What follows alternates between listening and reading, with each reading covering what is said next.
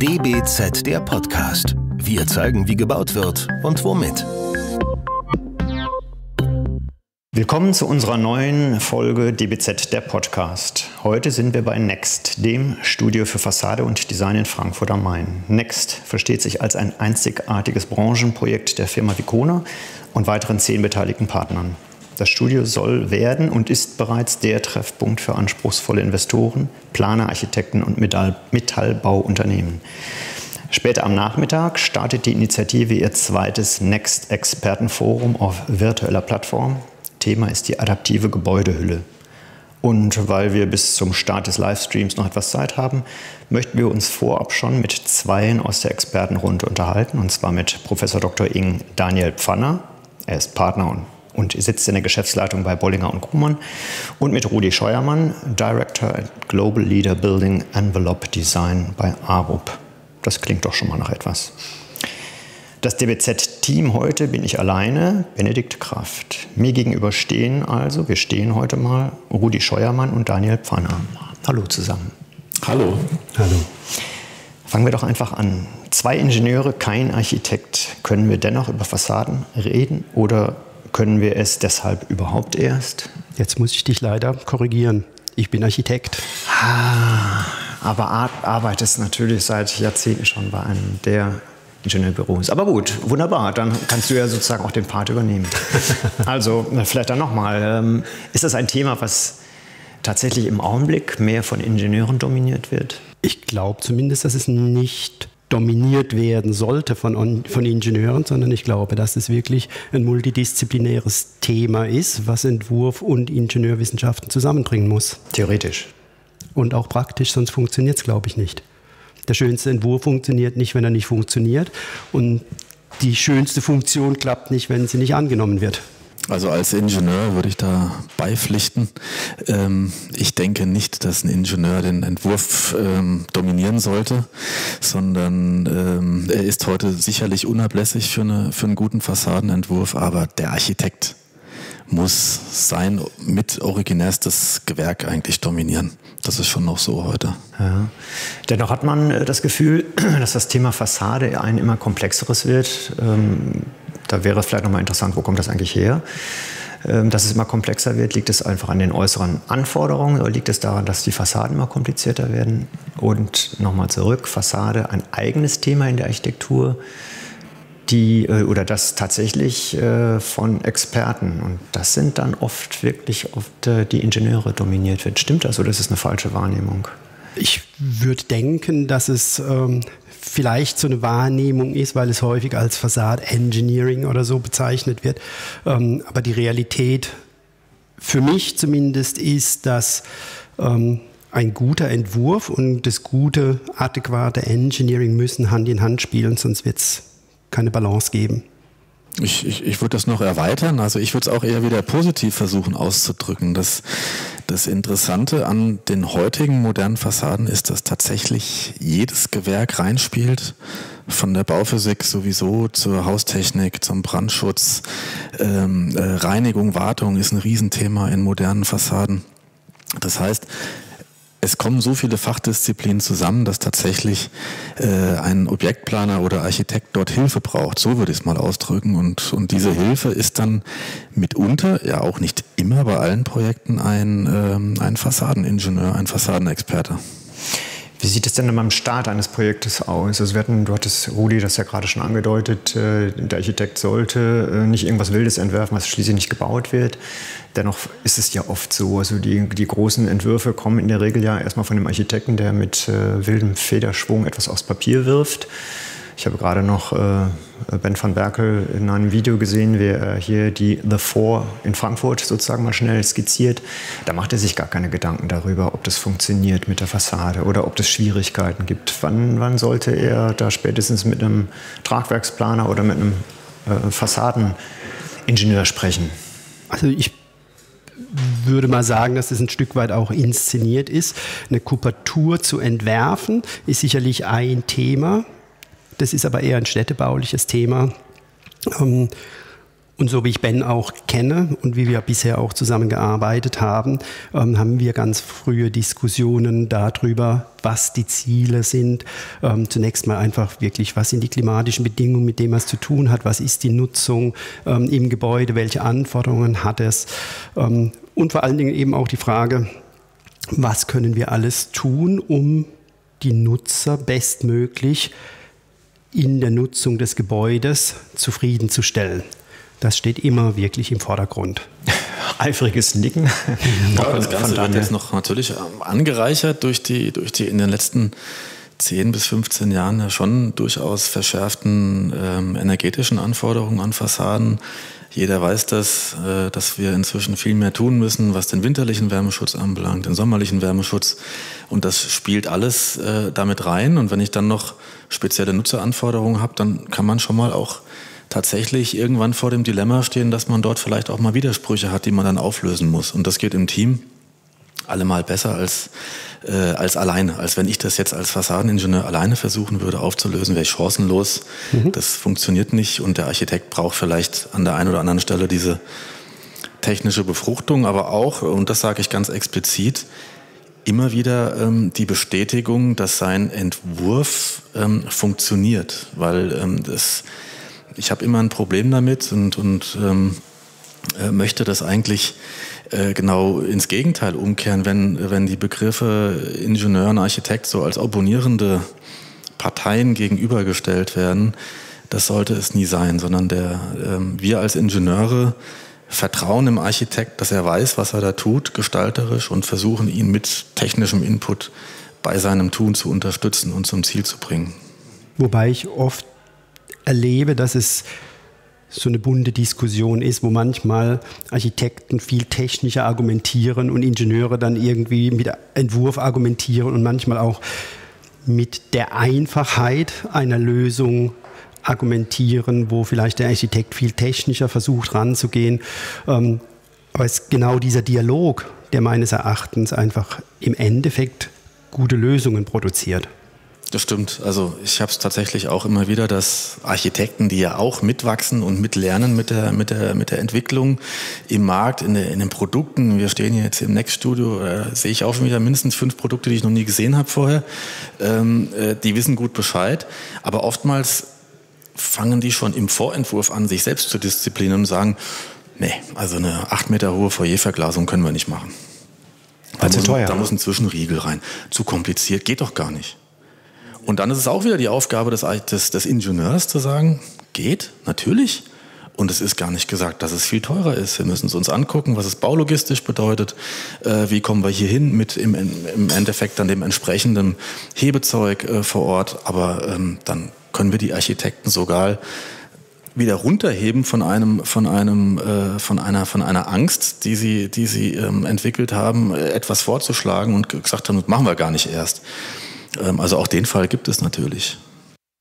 Jetzt habt ihr gerade beide von der Nutzerzufriedenheit gesprochen. Bei den Projekten, über die wir uns ja jetzt hier vielleicht auch unterhalten, die wir alle im Kopf haben, also die großen Fassadenprojekte, ähm, da ist ja der Nutzer natürlich auch als theoretische Größe mit dabei äh, in, in, großen Zahlenwerken, weil man bestimmte Normen einhalten muss, äh, ob es jetzt das Tageslicht ist, die Lüftung und so weiter und so weiter. Aber in der Regel ist es doch derjenige, der bezahlt der hat Vorstellungen davon, wie sein Gebäude auszusehen hat und äh, der stellt sozusagen die Anforderungen. Und das sind auch manchmal Dinge, ähm, die dann ein Gebäude an sich energetisch nicht gut aussehen lassen und das muss dann die Fassade retten. Ist das so? Also ich würde mal sagen, jeder, der das Gebäude bezahlt, ist gut beraten, die Zufriedenheit der Nutzer im Auge zu behalten. Denn wenn die Nutzer nicht zufrieden sind, dann wird irgendwann sein Gebäude an Akzeptanz verlieren und damit das Gebäude an Wert. Also wir glauben sehr, sehr stark daran, dass der Nutzer extrem im Fokus steht, um etwas Vernünftiges, was Gutes zu machen, weil natürlich will derjenige, der in einem Gebäude arbeitet, auch einen tollen Entwurf haben, Natürlich, das macht wahnsinnig viel her, wenn das ein Gebäude ist, über das alle reden. Aber es muss natürlich auch so sein, dass es im Betrieb funktioniert und dass der Nutzer sich darin wohlfühlt. Das heißt gar nicht, dass der unbedingt viel Schrauben machen, drehen, klappen muss. Ähm, manchmal ganz im Gegenteil. Ähm, aber er muss in dem, was er im Gebäude zu tun hat, einfach zufrieden sein. Und am besten natürlich gar nicht groß drüber nachdenken müssen. Gut, aber der Nutzer, der ist in der Regel bei solch großen Projekten äh, hinten dran. Also äh, klar, äh, der Investor, der dann die, äh, das, das Invest später sozusagen weitergibt äh, an jemanden, der es dann auch kauft, der dann der Eigentümer wird, der ist ja oft von solchen Dingen weit entfernt. Der wird beraten. Äh, man, es gibt halt die normalen genormten Vorschriften, wie groß ein Arbeitsplatz, ein Feld sein muss, wie viel Licht und so weiter und so weiter. Das wird er schon mit äh, sozusagen mit einberechnen. Aber ob sich der, äh, der Büroangestellte, äh, der Mieter dann da wohlfühlt, das ist wahrscheinlich dann über diese lange, lange Kette gesehen am Ende gar nicht so sicherzustellen, weil es halt dann doch ein großes Projekt ist. Aber hören wir auch damit auf, das ist vielleicht auch alles nur Mutmaßungen meinerseits. Ähm, ich habe manchmal das Gefühl, dass Fassaden ähm, in der Diskussion über Architektur ein sehr eigenständiges Themenfeld sozusagen besetzen und irgendwie auch losgelöst sind von dem, was sie dann bedecken. Ähm, jetzt hat das Wort oder der Begriff der Fassade im Deutschen ohnehin einen etwas negativen Eindruck. Also die Fassade, die äh, etwas verhüllt, was dahinter ist und keiner weiß genau, was es ist. Ähm, bei dir, Rudi, habe ich das mal gehört, dass du sagst, Fassade finde ich auch nicht so gut den Begriff. Ich würde lieber von Gebäudehülle sprechen. Das meint ja auch, dass tatsächlich das, das alles, was das Gebäude vom Dach bis zum Keller einhüllt, ähm, kann man denn eine Gebäude, kann man einer Gebäudehülle denn auch ein Gesicht geben, was äh, ja Fassade letztendlich auch bedeutet? Naja, Gebäudehüllen äh, brauchen ein Gesicht und zwar zunehmend mehr, wenn wir unterschiedliche Höhenentwicklungen in einer Stadt haben und ähm, wir nicht nur Fassaden von der Straße aus betrachten, sondern wenn wir Gebäude insgesamt eben aus unterschiedlicher Höhe sehen und dann eben auch die Dachaufsicht eine wichtige Rolle spielt. Aber die Gebäudehülle ist insgesamt einfach energetisch wichtig für ähm, das Kleinklima in der Stadt. Und ich mag diesen Begriff Fassade als solches nicht so sehr, weil er sich doch sehr häufig einfach nur auf die vertikalen verglasten Elemente bezieht und den Rest ignoriert. Deshalb ist mir wichtig zu sagen, wir kümmern uns um die gesamte Gebäudehülle, um den Einfluss der, der klimatischen Grenze des Gebäudes zum Stadtklima insgesamt zu betrachten. Bei Fassade denkt man an Low-Tech und an High-Tech. Beides äh, spielt sich gerade so gegeneinander so ein bisschen nicht aus, aber vielleicht spielt es auch zusammen. Jetzt wirst du, Daniel, gleich in deinem Vortrag, ich würde sagen, ein Hightech, äh, eine Hightech-Fassade vorstellen.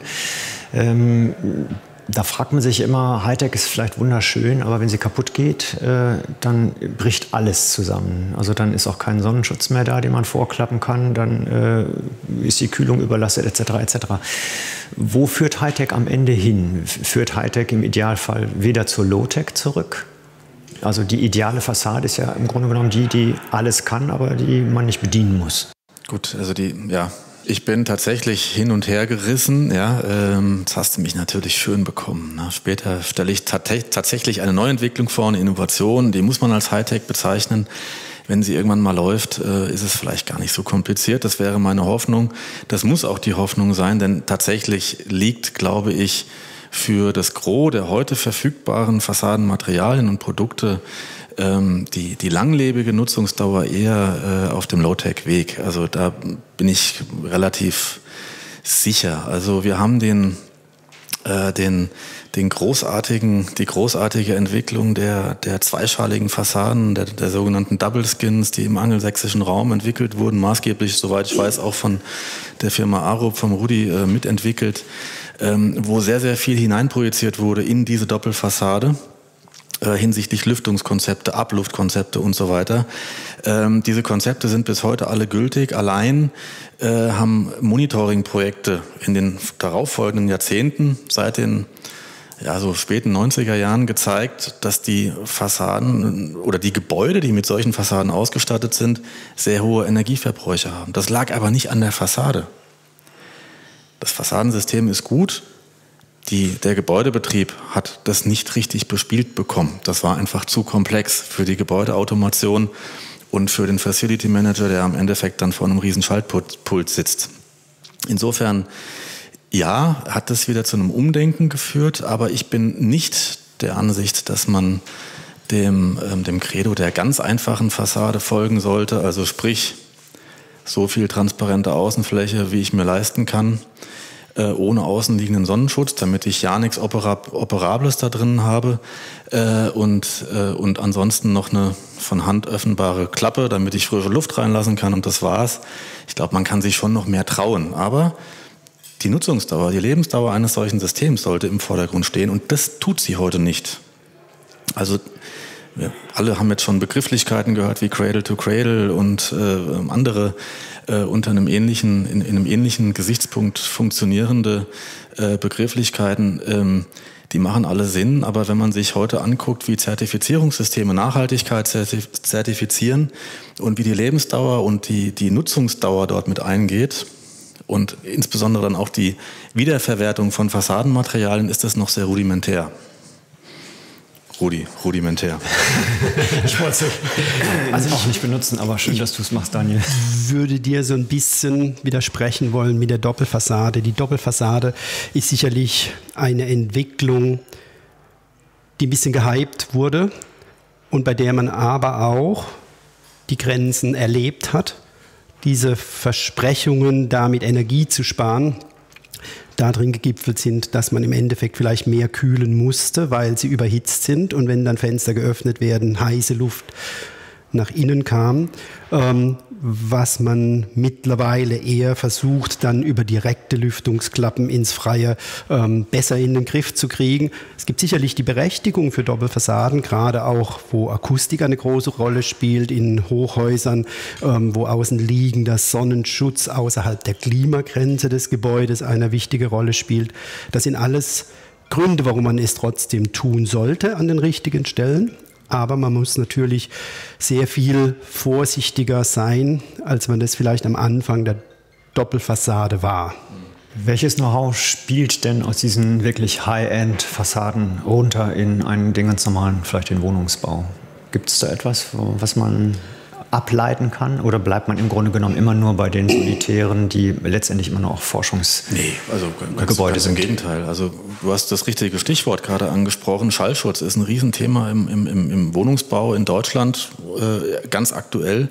Wir haben in den letzten Jahren eine Verschärfung der Schallschutznorm gehabt. Wir haben Anforderungen äh, in, den, in den deutschen Kommunen, in Berlin, in Frankfurt, die kriegt man mit normalen Fensterkonstruktionen überhaupt nicht mehr erfüllt. Und ähm, Dort gibt es bis in, den, in, die Bebauungspläne hinein so dezidierte Anforderungen an den Schallschutz der Fenster bis hin zu Nachtlärmpegel in Schlafräumen bei teilgeöffneten Fensterkonstruktionen, die ähm, mit, einem, mit einem handelsüblichen Drehkippbeschlag völlig unmöglich zu erreichen sind. Es sei denn, man würde draußen Schilder aufstellen, Tempo 30.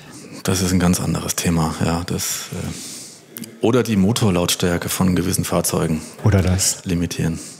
Ja, ja also ich, ich denke, ähm, auch so Themen wie die kontrollierte Zwangslüftung ähm, ist sicherlich etwas, was aus der Technologie von großen Gebäuden zurückgeschwappt ist in den Wohnungsbereich, um einfach Lüftungswärmeverluste besser in den Griff zu kriegen.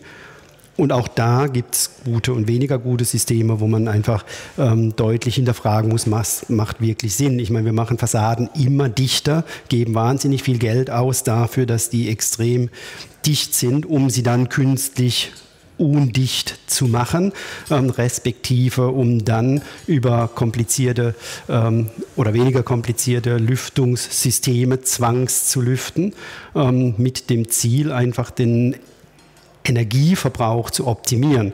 Aber da gibt es aus meiner Sicht wirklich ähm, noch ganz, ganz viel Entwicklung vor uns.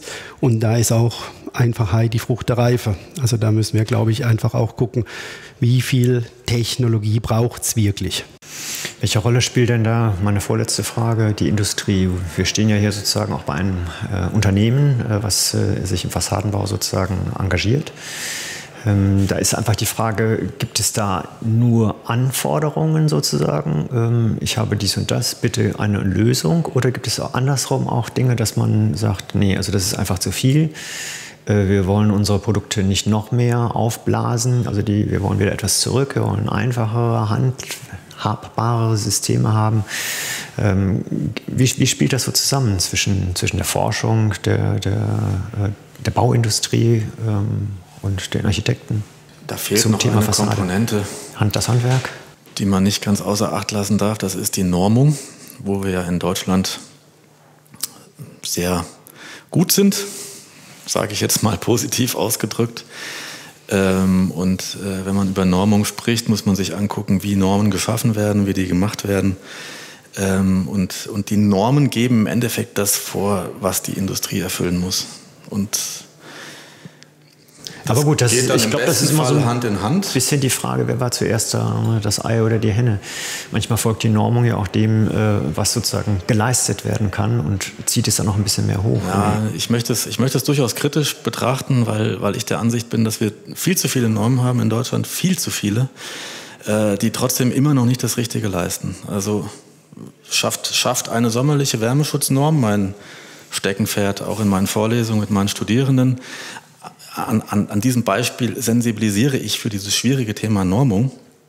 Ähm, schafft es eine sommerliche Wärmeschutznorm, die DIN 4108 Teil 2, dass wir Gebäude energieeffizient im Sommer vor zu hohen solaren Einträgen schützen, beziehungsweise den Energiebedarf für das Kühlen minimieren. Kann sie gar nicht schaffen, weil der Kühlbedarf in Kilowattstunden pro Quadratmeter und Jahr überhaupt nicht Teil dieser Normung ist. Ähm, und äh, es, in, insofern haben wir, haben wir äh, da, glaube ich, noch einen Riesenbedarf. Und ähm, die Industrie äh, wird, wird dem sicherlich folgen, wenn wir, ähm, äh, wenn wir erstmal die, die, die äh, ja, wie drücke ich das aus, die Norm so gestalten, dass sie wirklich physikalisch sinnvolle Ansätze äh, bietet, dann haben wir auf einmal als Architekten und Ingenieure wieder einen viel größeren Blumenstrauß an Möglichkeiten, mit dem wir auch Gebäude entwickeln können. Davon bin ich absolut überzeugt. Ich weiß nicht, wie du das siehst, Rudi. Die, Ich glaube, dass ein großes Manko an der Normierung ist, dass nicht unbedingt Ziele definiert werden und Wege zugelassen werden, diese Ziele zu erreichen, sondern dass das häufig Begrenzungen und Beschränkungen beschreibt, mit denen man glaubt, bestimmte Ziele zu erreichen, die man aber nicht in jedem Fall damit erreicht. Wenn ich mir angucke, was zum Beispiel über Wärmedämmung geschieht, ähm, da stecken wir teilweise wirklich sehr viel mehr Energie in die Produktion der Wärmedämmung, die wir außen drauf kleben, 30, manchmal 35 Zentimeter stark, um irgendwelche winterlichen äh, Wärmeschutz herzustellen, um dann über eine Lüftung entsprechend dann wieder ähm, gutes Raumklima zu erzeugen und darüber Energie auch wieder opfern müssen. Die Dämmung dann wieder zu Sondermüll machen, wenn sie ähm, jemals abgenommen werden muss. Also da gibt es für mich wirklich viele Fragezeichen. Ähm, und da wäre mir manchmal lieber, wenn man gesamtenergetische Ziele definieren würde und man den Nachweis führen kann zumindest, nicht unbedingt muss, aber zumindest kann, äh, über ein Regelverfahren hinaus, wie man diese Ziele erreicht. Und das wäre meines Erachtens sehr viel zielführender und hilfreicher und würde dann auch die Industrie, die Planer, die Ingenieure, die Architekten sehr viel mehr beflügeln, neue Wege zu finden, die aber ganzheitlich zu einer Lösung führen. Das heißt also, äh, in gewisser Weise kapituliert ihr beiden vor den Normen, denn ähm, ansonsten müsste man auch sagen, ich bewerbe mich um einen Platz im Normenausschuss und arbeite da mal kräftig mit. Ist das naiv gedacht? ja, oh, da kommt ein bisschen Frust. Also ich denke, ich denke, man kommt natürlich an seine Grenzen, wenn man als Einzelner in so einem Normenausschuss sitzt. Nichtsdestotrotz ist es schon so, dass wir, ich denke, da spreche ich auch für uns beide, ähm, durch Vorträge, durch Präsenz, durch das, was wir versuchen zu bewegen, ein Bewusstsein versuchen zu schaffen, mit dem sowohl Industrie als auch Normausschuss als auch Politik und so weiter Anregungen kriegen, ähm, wie man es vielleicht sinnvoller gestalten kann. Und da bin ich auch sehr stolz drauf, dass es durchaus ein paar Beispiele gibt, wo es uns gelungen ist, in der Politik Einfluss zu nehmen ähm, hinsichtlich ähm, Regulierungen zur Gebäudehülle, ähm, von denen ich überzeugt bin, dass sie sinnvoll sind. Es klang gerade so ein bisschen an, Austausch. Wie tauscht sich Bollinger, Bollinger und Grohmann und Arup über das Thema Fassade aus? Gibt es da etwas? Trifft man sich? Man trifft sich auf Informell. Veranstaltungen wie hier. Wir haben jetzt keine institu institutionalisierte Zusammenkunft unserer äh, Experten beispielsweise. Darüber kann man sicherlich nachdenken. Wir hatten es gerade vorhin äh, von dem Thema, dass man natürlich mit einzelnen Personen in regem Austausch steht, die man von Projekten kennt, von Veranstaltungen kennt. Und ähm, äh, beim Hause Arup weiß ich, dass wir da als Bollinger und Grummann schon auch noch ehrfürchtig emporstarren, äh, auf, rein aufgrund der Geschichte und der großen, der, der, der Größe.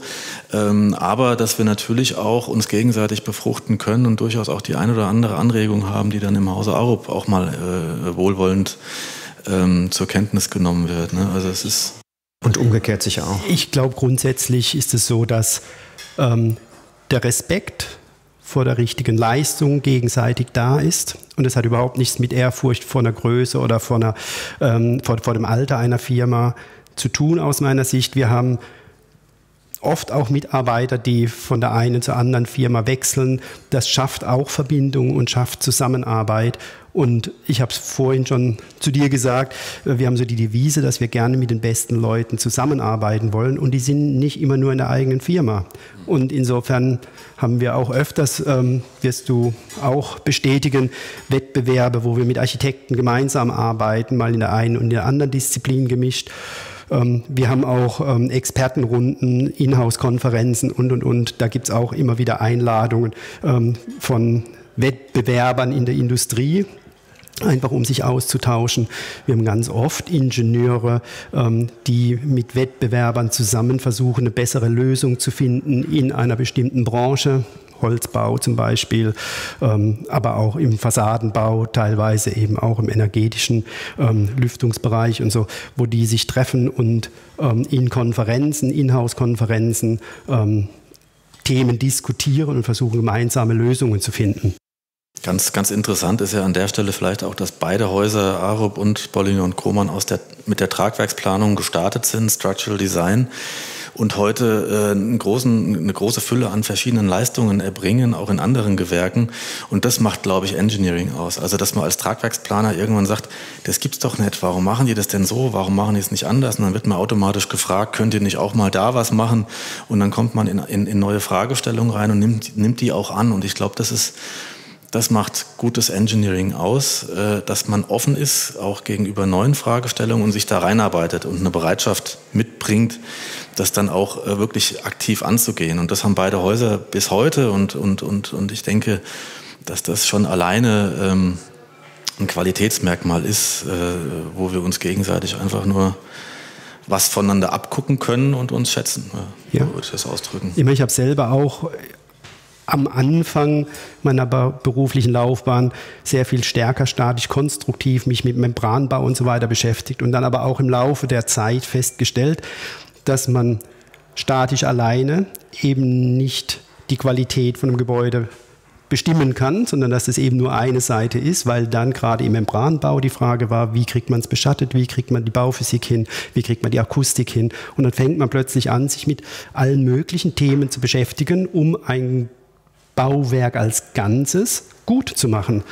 Und dadurch rutscht man in diese ganzen Fragestellungen rein. Und das ist auch toll daran. Jetzt hatte der Daniel gerade mit seinem Satz äh, mein Schlusswort sozusagen vorweggenommen. Er hatte gesagt, äh, dass man auch voneinander abguckt. Äh, ich hätte jetzt als letzte Frage auf dem Zettel, ob man auch, ob ihr in eurer Arbeit auch hin und wieder mal hinter die Fassade schaut. Das heißt also hinter das, was mehr ist als jetzt nur die Technik. Das macht ihr mit Sicherheit, aber vielleicht könnt ihr da noch einen Satz zu sagen, was ihr darunter versteht, hinter die Fassade, hinter das Thema zu gucken. Was, was kann das bedeuten? Also es bedeutet für uns auf jeden Fall auch forschen. zu gucken, einmal zu forschen, aber auch zu gucken, wie arbeitet eine Firma.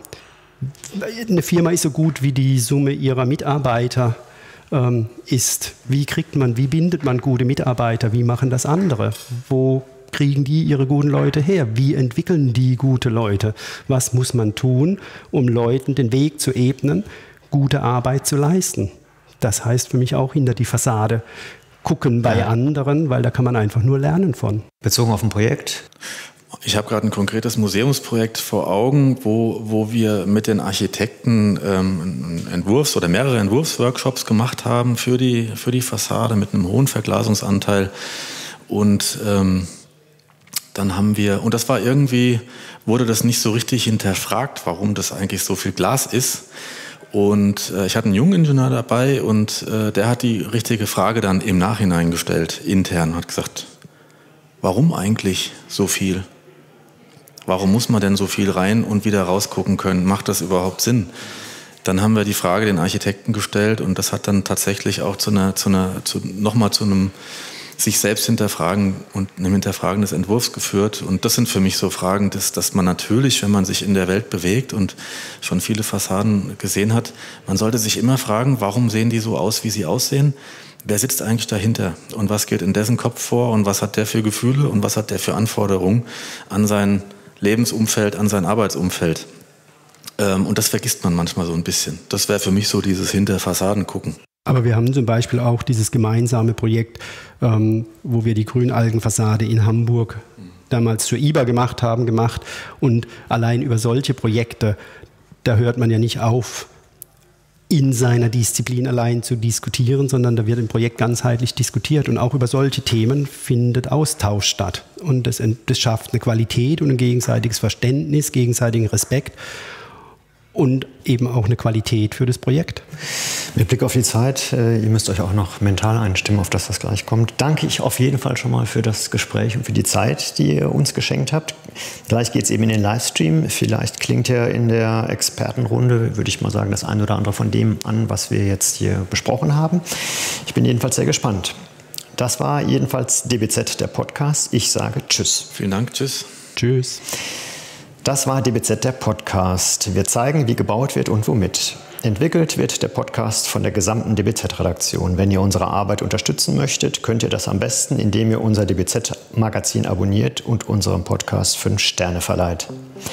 Der DBZ-Podcast wird von unserem Tonmeister Lynn Meisenberg abgemischt. Mehr Informationen gibt es auf dbz.de.